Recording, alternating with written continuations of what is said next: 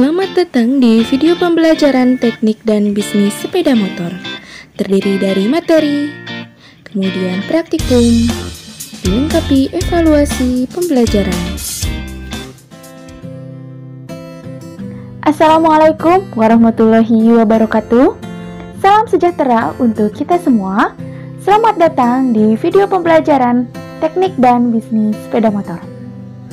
Sebelum kita mulai belajar, marilah kita berdoa terlebih dahulu sesuai kepercayaan masing-masing. Berdoa dimulai.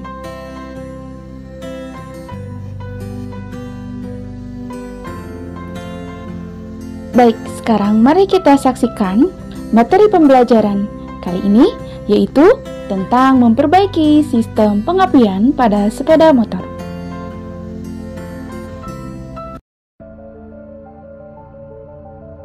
Tujuan pembelajaran Untuk tujuan umumnya, setelah mempelajari modul ini, peserta diharapkan mampu memperbaiki sistem pengapian.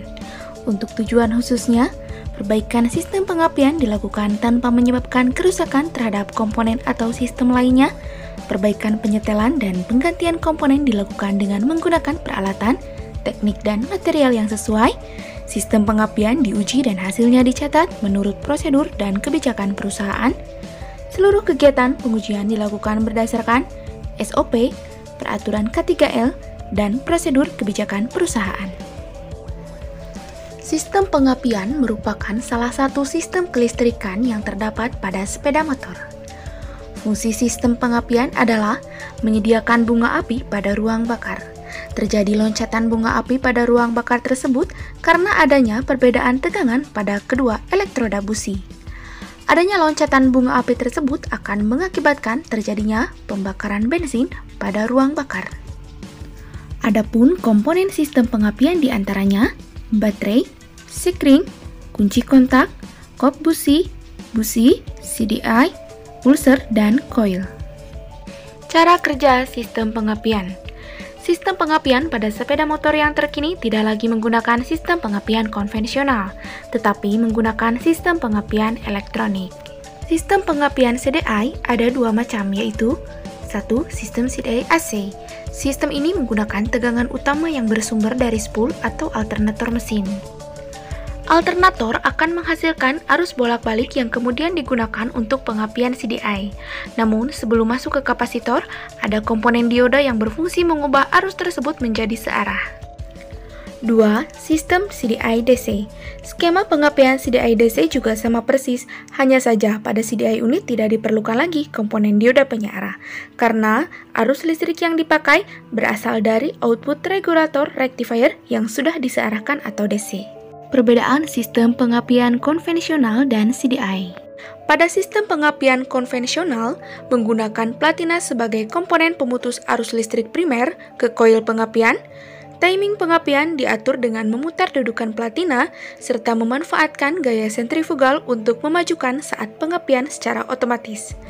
Pada sistem pengapian CDI, menggunakan SCR sebagai komponen pemutus arus listrik ke koil pengapian, Timing pengapian sudah terprogram dalam unit rangkaian elektronik sehingga tidak lagi disetel pada dudukan platina serta menggunakan sensor elektronik dalam memajukan saat pengapian secara otomatis. Persyaratan keamanan dalam sistem pengapian sepeda motor Hal yang dipersiapkan untuk mendukung keamanan kendaraan dalam pekerjaan perbaikan sistem pengapian sepeda motor di antaranya tempat kerja, fasilitas atau perlengkapan pendukung, dan alat keselamatan diri yang lengkap. Setelah mempelajari materi sistem pengapian pada sepeda motor, mari kita saksikan praktikumnya.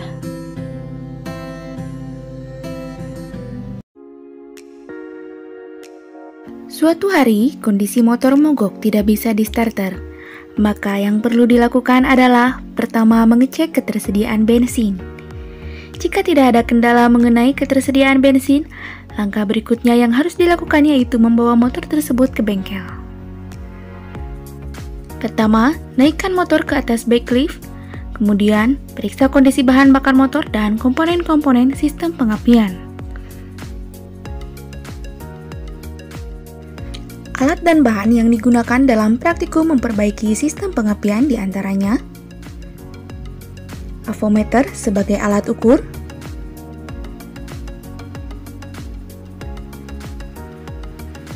kemudian obeng positif dan negatif, tang lancip,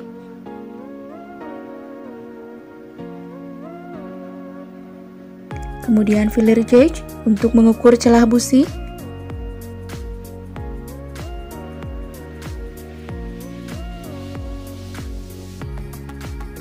sikat kawat untuk membersihkan terminal baterai dan elektroda busi, kunci busi untuk melepaskan busi. Langkah pertama yaitu memeriksa kinerja baterai. Motor yang digunakan yaitu Honda Revo Fit 110cc. Kita buka jok sepeda motor, kemudian lepas penutup baterai, lalu lihat kondisi baterai. Jika terminal baterai terlihat kotor atau ada serbuk-serbuk putih, maka itu diakibatkan oleh percikan-percikan akibat pemasangan terminal baterai yang kurang kencang. Kemudian cara membersihkannya yaitu dengan disikat menggunakan sikat kawat pada bagian terminalnya sampai serbuk-serbuk atau korosifnya menghilang. Kemudian langkah kedua untuk memeriksa baterai yaitu dengan mengukur tegangan baterai menggunakan avometer. Lepaskan baterai, kemudian simpan di meja kerja. Lakukan pengukuran dengan menggunakan avometer. Putar selektor avometer pada DC volt, kemudian tempelkan tes lead positif ke terminal positif baterai dan tes lead negatif ke terminal negatif baterai. Hasil pengukuran menunjukkan 12 volt, artinya baterai masih dalam keadaan baik. Kemudian lakukan pemasangan baterai ke tempat semula dengan cara memasang terminal positif terlebih dahulu, dilanjutkan dengan pemasangan terminal negatif. Langkah selanjutnya yaitu membuka kerangka motor.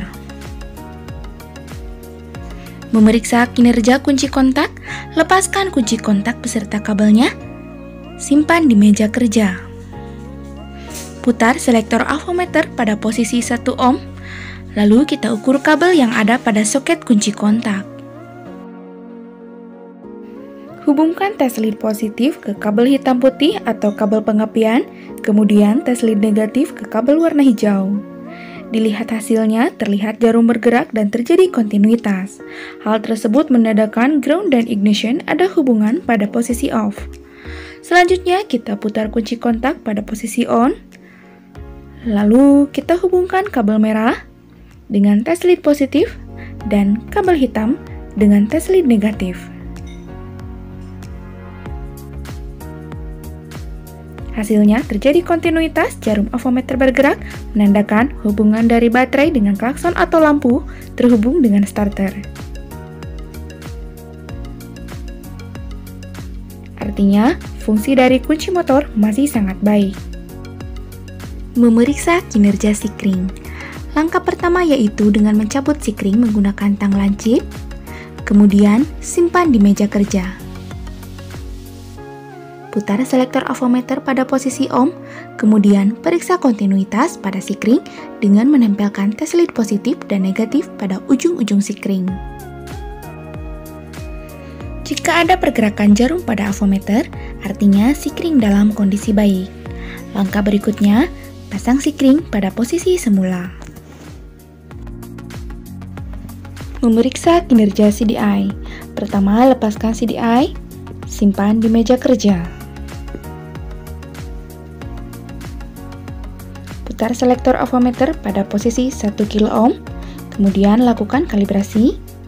Lakukan pengukuran pada CDI ketika ada pergerakan jarum avometer, artinya kondisi CDI masih baik. Lakukan pengukuran pada kabel biru putih dengan hijau putih pada CDI untuk memeriksa hubungan pulser dengan massa atau ground. Dilihat hasilnya menunjukkan 50 kilo artinya kondisi CDI masih bagus. Kemudian, pasangkan kembali CDI ke tempat semula. Memeriksa kinerja pulser atau pick up coil. Lepaskan kabel pulser dari soketnya, kemudian periksa nilai tahanan pada pulser melalui soket tersebut. Putar selektor avometer pada kali 10 ohm. Lakukan pengukuran dengan menghubungkan probe merah ke kabel hijau dan probe hitam ke kabel putih. Kemudian lihat hasilnya, ada pergerakan jarum avometer atau kontinuitas dengan nilai 15 kilo ohm. Artinya pulser masih bisa bekerja, tetapi nilai tahanannya sudah berkurang karena standar pengukuran pulser untuk jenis motor Honda yaitu 50-70 ohm. Memeriksa kinerja koil Pemeriksaan kinerja koil pada sepeda motor berfungsi membangkitkan tegangan tinggi dan mengalirkannya ke busi. Lepaskan koil pada sepeda motor, simpan di meja kerja. Langkah pertama yaitu memeriksa tahanan lilitan primer dan sekunder. Putar selektor avometer pada kali 1 ohm. Untuk pemeriksaan tahanan lilitan primer, lakukan pengukuran dengan menghubungkan probe merah avometer dengan terminal positif koil warna biru. Dan probe hitam avometer dengan terminal negatif koil warna hitam. Hasilnya yaitu 0,2 ohm, artinya koil lilitan primer masih berfungsi dengan baik. Di mana spesifikasi lilitan koil primer yaitu 0,2 sampai 0,6 ohm. Untuk pemeriksaan tahanan lilitan sekunder, putar selektor avometer pada kali 1 kilo ohm, kemudian lakukan kalibrasi, kemudian lakukan pengukuran koil dengan cara menghubungkan tes lead positif pada terminal positif koil warna biru dan tes lead negatif pada ujung kabel busi atau kop busi. Lalu lihat hasilnya yaitu 18 kilo ohm, artinya koil dalam kondisi baik.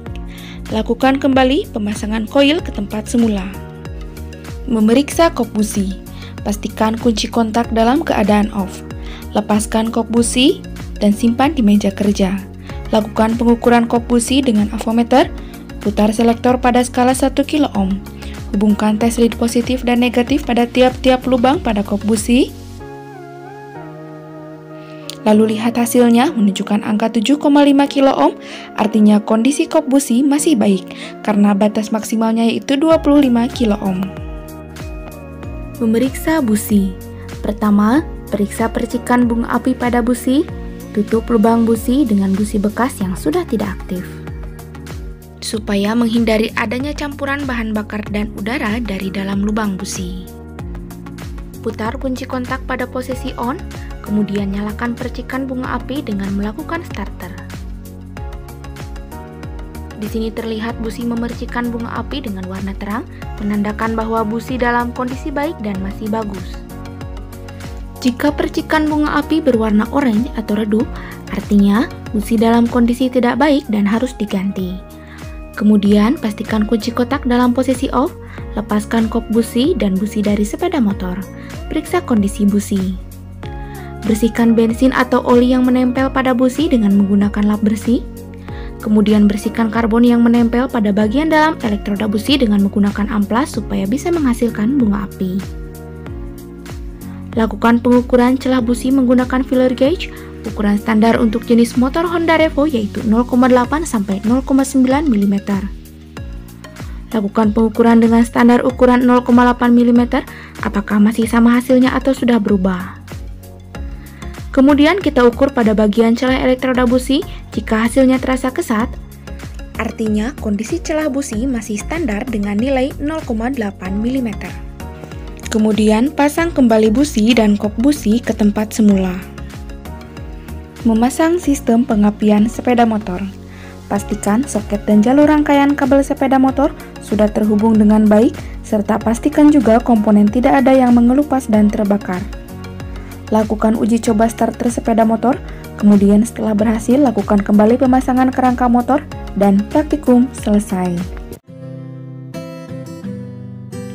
Setelah kita saksikan materinya serta praktikumnya, sekarang mari kita evaluasi pembelajaran.